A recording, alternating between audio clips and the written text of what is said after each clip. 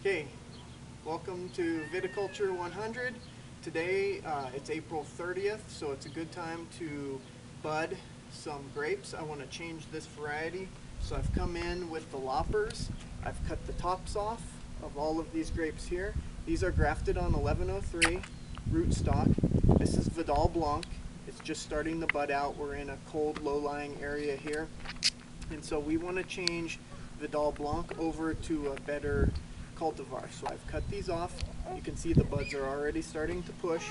I've utilized these loppers and then every time I use my equipment, I'm sterilizing it in rubbing alcohol so that if there is anything on this material, I'm not spreading it from one vine to the other.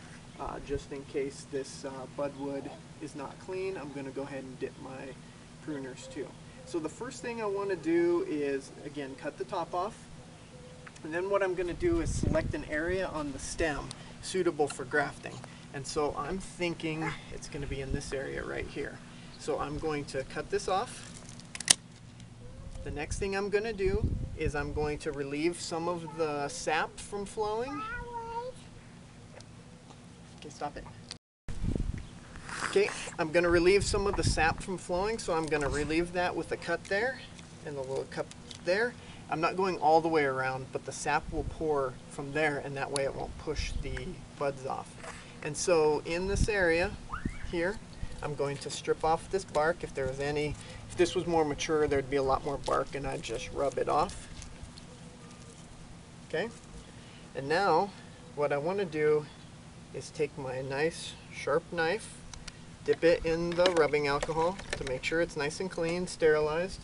I'm going to take my budwood, and the reason I'm doing this now is the buds are just starting to push out. That's a little bit big for the buds. That's perfect, that's perfect. They're just starting to swell. And so I'm going to take this. It takes some uh, it takes some practice so you don't cut yourself. So I'm going to point the knife down and with some pressure, I'm going to try and take off that bud and just a chip. Okay, that's perfect. I'm going to clean that up a little bit. Use the pruners if need be. And so what I have here is the bud on this side. I know which side is up and down. If there's any confusion, there's a leaf scar underneath. And so you'll see your three buds that could potentially come out. Right here um, is cambium layer. All that green, I want to connect to cambium layer on here. So this is just one bud. Typically this is done in twos. I'm going to form a bilateral cordon system along this wire. So I put one bud on either side and then train these up to the wire. So right now we got one bud. I'm going to show you how to connect this. Take your sharp knife, start with a cut here. You got to learn not to cut yourself. People who do this for a living can do this really fast.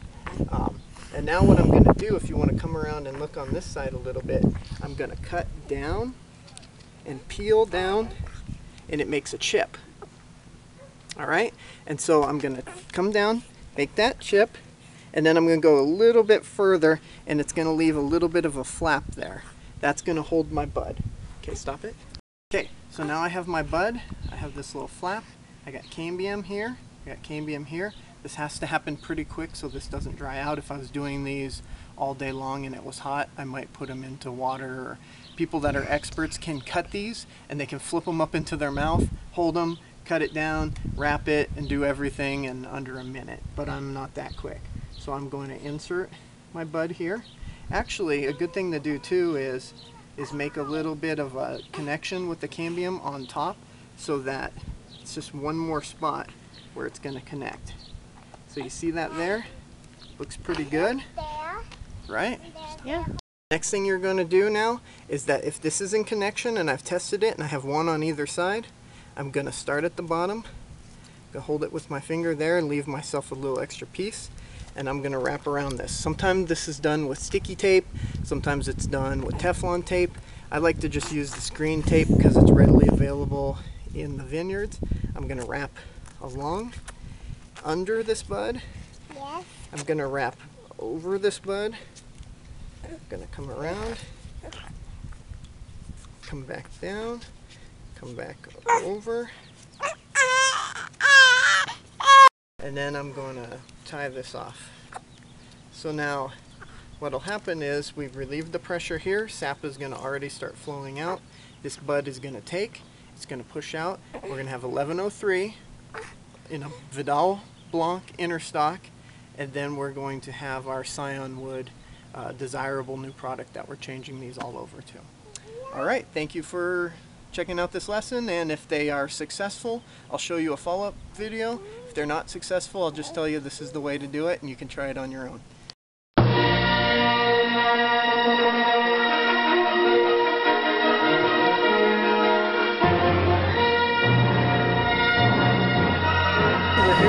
Chino Valley Agribusiness uh, Greenhouse.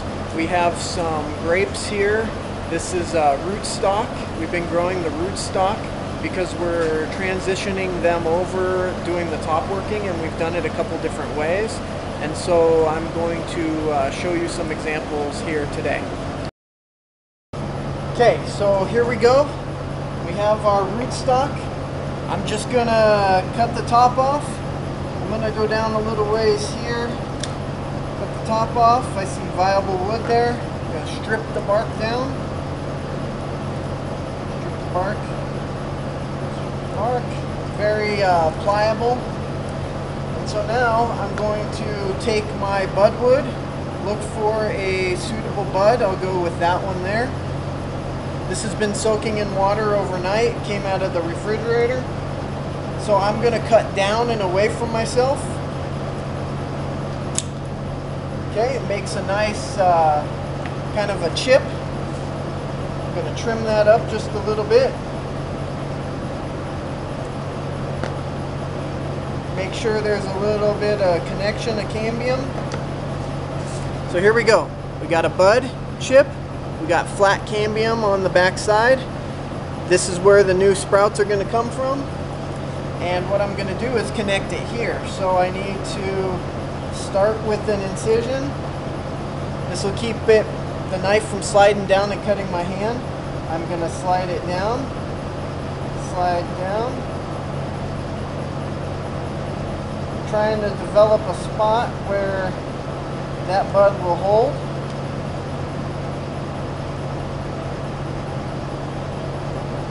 Okay, there we go. Going to insert the bud into here. Need to make it a little bit bigger.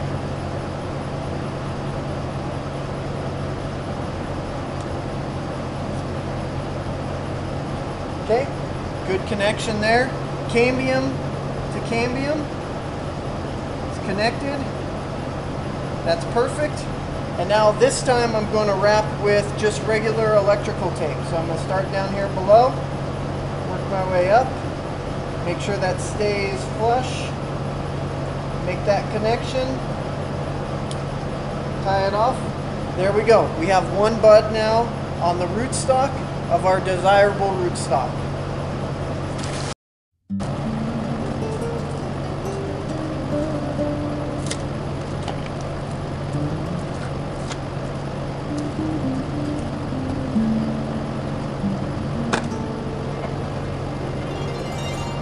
Vale más un buen amor que mil costales de oro.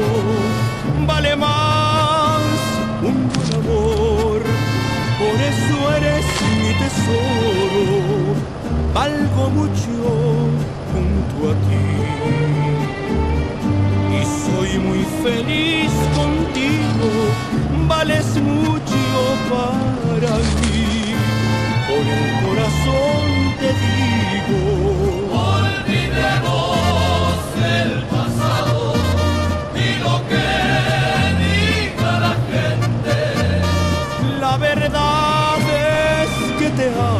this example, we have a rootstock.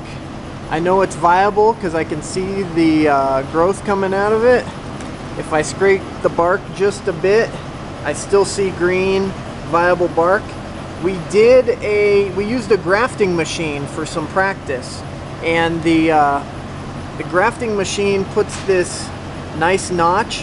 And so what we did was we notched it, we attached it, and we left a bud here for sprouting out. The problem is, is this is one that did not take because if I take this off, you can see the uh, you can see the notch that was cut and the receptor notch there. This okay, this is a follow-up to the grafting we were doing inside the Chino Valley greenhouse. You can see I wrapped it with electrical tape. This is the root stock here, and then uh, we can actually look at our uh, grafted plant here coming out. This is the end of May, so I think I did this about four weeks ago. This one happens to have grown out uh, four or five inches or so. Some of the other ones are just now breaking. But we can take this tape off.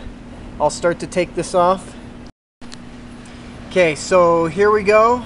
Um, tape is off. And you can see this here. Um, I'm not very good at this. The callus is formed all down here. And so luckily when I wounded it, it, it attached here. Um, the top, you can see separation there. So this really isn't a good graft, but it's connected enough that it's that it's pushing out and it's just connected down in this area. You can see how this callus has swelled and completely uh, enclosed this. This will continue to heal and eventually this will be um, completely covered. But again, that's not exactly what we're looking for. And that's why people who do this for a living uh, make big bucks doing this.